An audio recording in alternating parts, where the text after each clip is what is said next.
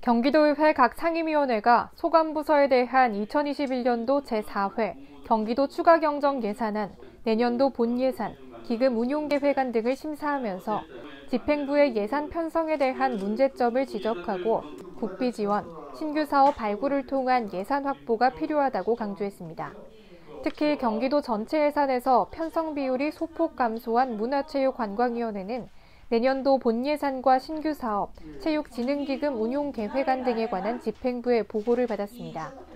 이에 경기도 의원들은 예산 정책 개발을 통해 문화체육 관광 분야의 중장기적인 예산안 편성이 필요하다며 중복되는 행사나 사업이 없는지 사전에 충분히 살핀 후 예산을 집행해달라고 당부했습니다. 비슷한 사업과 뭐 통폐합이 가능하면 통폐합을 하시든 아니면 오히려 차례화 전략을 세워서 이 우리만의 특별한 이 사업만의 특별한 그 차례화 전략을 세우든 그런 부분을 해야 될 거예요. 분명 비슷한 사업들이 굉장히 많이 있는 걸로 알고 있거든요. 보건복지위원회에서도 내년도 신규 사업으로 청년 일자리, 노후생활 지원 강화, 장애인 누림 통장 등에 대한 예산안을 증액 편성해 보고했습니다.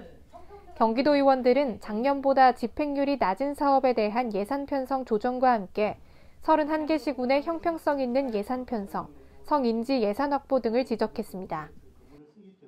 성평등한 정책의 크기라고는 생각하지 않습니다. 노력하는 마음과 그 과정이 중요하다고 생각하고요. 나머지 예산과 정책들을 실행하실 때 성평등한 정책을 실현시켜 주실 것을 당부하고 싶습니다. 한편 상임위원회에서 의결된 예산안은 예산결산 특별위원회의 심의를 통해 본회의에 상정하게 됩니다.